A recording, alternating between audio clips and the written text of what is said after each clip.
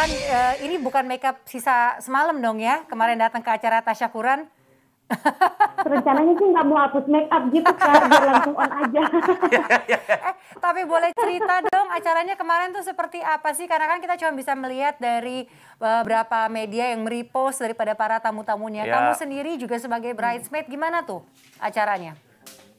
Uh, Alhamdulillah pertama acaranya berjalan dengan lancar. Mungkin karena memang keterbatasan uh, situasi juga. Jadi memang kita dibagi beberapa sesi gitu breastfeednya hmm. aja. Hmm. kita dibagi ada tiga sesi biar nggak terlalu banyak kumpul jadi apa ya kak? Uh, seneng juga sih akhirnya bisa terselesaikan rangkaian acaranya dan uh, banyak yang mendoakan yang baik banyak memberikan uh, support juga uh langsung jadi kita juga sebagai sahabatnya sangat-sangat uh, senang pastinya. Oh oke, okay. jadi dibagi menjadi beberapa sesi gitu ya. Ada berapa sesi kemarin untuk acara tasyakurannya? Kemarin uh, kalau nggak salah ada tiga sesi. Mm -hmm. Jadi ada yang sesi pagi, siang, dan sore. Jadi biar nggak terlalu berkumpul banyak orang dan kemarin kalau nggak salah memang bangkunya aja cukup sedikit ya jadi hmm. uh, memang benar-benar dibatasin gitu kak. Oke, okay. uh, eh, berarti dibagi tiga sesi. Setiap sesinya itu berapa lama durasinya dan kamu kebagian apakah sebagai bridesmaid di setiap sesi kamu hadir atau dibagi juga menjadi tiga misalnya dari total 10 bridesmaid dibagi tiga ke masing-masing sesinya? Jadi memang uh, untuk sesinya sendiri ada sekitar dua jam kurang lebih kalau nggak salah dalam satu sesi dan Breastmate-nya pun kita dibagi jadi uh, tiga sesi gitu kan. Jadi Rani oh. alhamdulillah bagian di sesi yang kedua jadi dari jam 12 siang sampai jam 2 siang. Oh. Eh, tapi pengen tahu deh bridesmaid-nya ada berapa orang dan okay. apakah semuanya itu teman-teman kamu juga kah? Kemarin uh, yang hadir kalau nggak salah ada sekitar 8 atau 9 orang bridesmaid. Mm -hmm. Karena memang ada beberapa yang eh, nggak uh, bisa ikut hadir karena ada acara dan uh, berhalangan hadir. Dan alhamdulillah di hanya Lesti ini aku juga bisa ketemu teman-teman baru karena kayak ada Siva Haju, ada uh, Siva, ada Kamelodi. Jadi uh, jadi banyak teman baru juga kak dan apa ya bisa dibilang sekeliling Rani kan kebanyakan ini penyanyi dangdut, teman-teman dangdut, yeah. dan akhirnya bisa kenalan sama teman-teman di luar dangdut. Uh, ada apa ya bisa dibilang kesenangan tersendiri juga. Alhamdulillah. Oke, okay. kalau per satu sesinya kira-kira berapa tamu yang kamu lihat yang diundang, Rani? Apa ya? Agak gimana? Karena mungkin kemarin nggak begitu ngitung juga tapi nggak nggak terlalu banyak sih mejanya aja sekitar lima atau enam meja oh, jadi jumlahnya mem sedikit ya. Memang ya. sangat dibatasi protokol yeah. yang berlaku ya. Mm -hmm. Tapi walaupun jumlah orangnya memang sangat terbatas, walaupun harus dilakukan dalam tiga kali tiga gelombang ya, kan pastikan uh, rasa hikmatnya dan harunya dapat hmm. kamu sendiri yang hadir di situ apa yang kamu rasakan baik dari sesama tamu undangannya dan tentunya dari si bride and groom dari pasangan yang berbahagia. Hmm. Um, apa ya uh, ini kan bisa dibilang Rani pertama kali ini kayak jadi bridesmaid dan hmm. Rani tuh ya udah ngikut ngalir aja dulu dan kemarin mulai dari rangkaian lamaran akad sampai resepsinya pun kita kayak apa ya dari Rani pribadi itu bener-bener kerasa banget hikmatnya karena bisa dibilang kan Les itu kan di bawah Rani kan umurnya adik sendiri gitu bisa dibilang dan uh -huh. saya serasa dilangkain adik gitu duluan uh.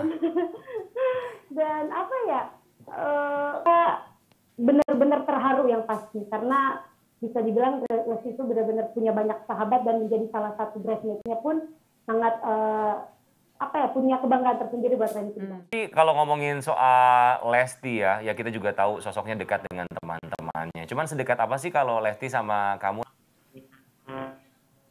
Uh, aku sih nggak tahu ya maksudnya kalau ditanya sedekat apa karena bisa dibilang uh, Rani tuh bisa dekat sama Lesti karena memang uh, dulu tuh awalnya karena senior junior kan Lesti itu senior Rani di ajang pencarian bakat dan -hmm. kebetulan pada waktu itu diberikan kesempatan duet uh, dengan Lesti sampai akhirnya sampai akhir ini bisa tetap konsisten komunikasi, tetap uh, bisa jalan bareng, tetap bisa berkomunikasi dengan baik. Jadi kayak aku juga nggak tahu kalau ditanya sedekat apa, tapi yang pasti bisa dibilang Lesti juga bisa sesuatu ke aku, aku juga cerita apa-apa sama Lesti gitu. Okay. Suka cerita apa sih? Pengen tahu. Terakhir apa sih pengen tahu? Ya gosipnya apa sih? Coba dia curhat sama kamu tuh terakhir tuh apa ya Rani? uh, apa ya akhir-akhir ini kan memang sangat menjadi sorotan banyak baik itu yang suka sama yang nggak suka gitu dan hmm. aku kalau ke dia tuh lebih sering teleponan tuh kayak udah nggak usah dipikirin tuh juga uh, apa kayak istilahnya semua semua orang sekarang pasti sudah menjadi sorotan gitu untuk Leslarnya pribadi apalagi Ferry itu sangat luar biasa dan ya. dia tuh takut menjadi takut menjadi uh, menjadi hal yang tidak baik nantinya karena sudah sekarang kan banyak menjadi inspirasi banyak orang dan sebagai sahabatnya tetap ngasih inspirasi, tetap ngasih masukan bahwa insya Allah kalau tetap jadi dirinya sendiri, pasti ke depannya akan tetap baik-baik aja.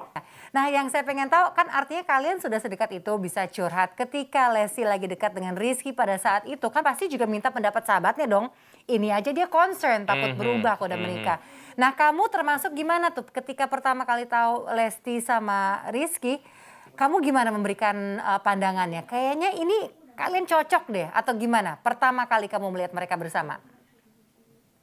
Jadi kalau untuk awal-awal tuh Rani pribadi pun nggak nyangka akan secepat ini gitu kan, mm-hmm. karena memang uh, awal-awal tuh masih ngeliat oh mungkin memang karena uh, urusan pekerjaan ataupun yang kan mungkin memang karena intens ketemu dan akhirnya pada waktu itu ketemulah sama Lesti di salah satu acara ketemu langsung, Lesti langsung bilang kak doain ya kayaknya dia bakal serius nih sama Kak Bilar dan mungkin sebentar lagi akan menikah gitu kan. Wow. Dan yang seriusan secepat ini gitu. Ternyata kayak, wah alhamdulillah jalan Tuhan sih kita nggak ada yang tahu dan benar-benar aku mm-hmm. nanya sama Lesti secara langsung, apa yang bikin kamu yakin gitu sama Kak Bilar gitu. Dan bedanya jawab kayak, aku tuh merasa diistimewakan dan merasa dicintai sama Kak Bilar. Jadi mm itu yang bikin oke okay, aku yakin insya Allah ini yang terbaik dari Tuhan. Oh. Dan, ya gitu. Oh berarti itu diistimewakan merasa diistimewakan. Diistimewakan atau merasa diistimewakan? Itu hal yang beda loh soalnya uh, diistimewakan.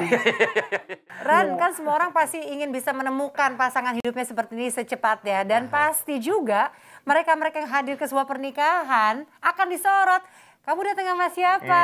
Hmm. Nah, kita kan juga melihat ya di postingannya. Rani datang sama siapa sih kemarin? Sendiri. Kenapa? Ya, Gak yang, apa, yang, mungkin nextnya yang... nanti bawa pasangan. Amin, oh. amin. Uh, jadi masih sendiri nih, Rani belum ada pasangan. Iya, masih. Oh, Oke. Okay. Uh, eh, biasa aja. Kri mhm. kriterianya seperti apa? Siapa tahu mungkin uh, Om Rian Ibram bisa bantu mencarikan. Terima kasih ya.